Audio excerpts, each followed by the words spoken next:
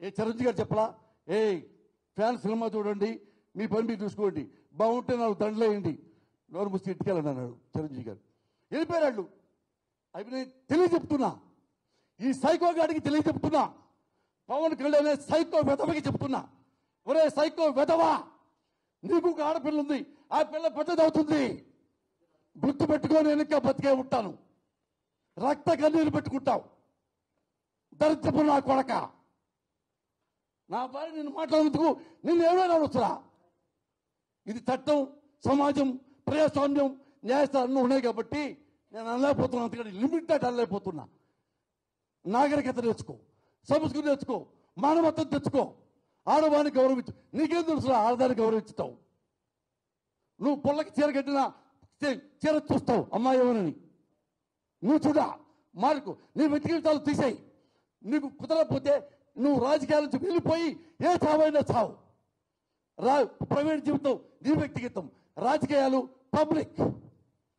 ఇలా మాట్లాడేందుకే కదా అప్పుడు శ్రీశ్రీని కుట్టారు తులసమ్మికి శ్రీశ్రీని కుట్టారని ఎందుకు? బికాస్ ఆఫ్ నాలాగా అడిగాడని ఏమైపోయాడు శ్రీశ్రీ? ఎవరు పట్టించుకున్నారు? నేను పట్టించుకుంటున్నాను సార్. నేను పట్టించుకుంటా. నేను ఒంటరి పోరాటం చేస్తా.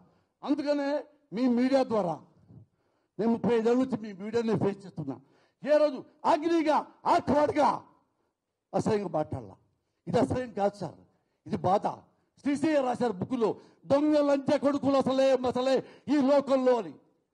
అంటే శ్రీశ్రీకి వాడు త్వరకు బుద్ధులు రాశాడా? ఆ డప్పుని ఆ వర్డే ఫిల్అప్ చేస్తుంది.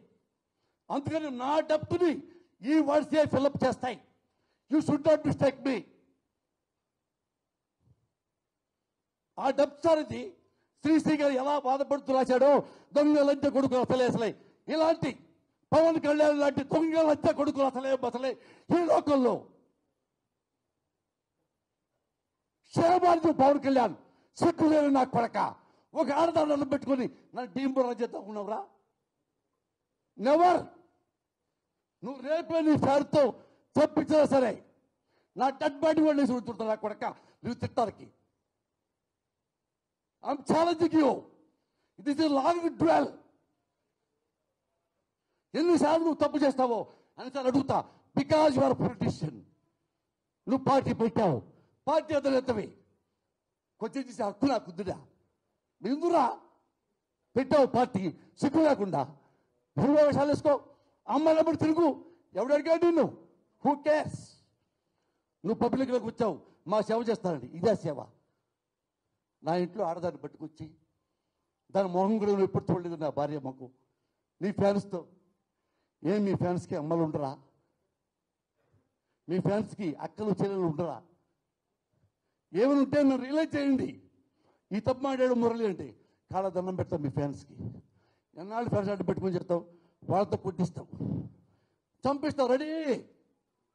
మదర్ ప్రామిస్ లేకపోతే వెళ్ళి పారిపోడురా నీలాగనే పిలికివాడి కాదురా. సన్నాసి. నువ్వు పిరిగివాడివిరా రివాల్వర్ కొరకు పట్టుకొని దిండు కింద పట్టుకుని నిలబడిన ఎదఫీ నువ్వు. Tibet fellow I never seen such vast fellow in my life in politics